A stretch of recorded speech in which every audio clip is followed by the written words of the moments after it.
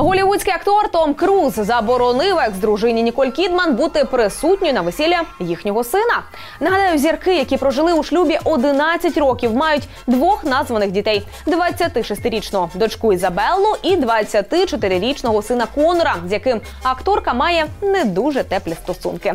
Причиною складних взаємин стала саєнтологія релігійно-філософське учення. Діти, як і їхній зірковий татко, є наслідувачами вчення, на відміну від Кідман.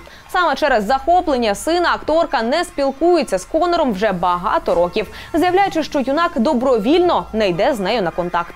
Тепер же, як з'ясувалося, що проти їхнього спілкування і сам Том, який не дозволив колишній дружині бути присутньою на весіллі сина.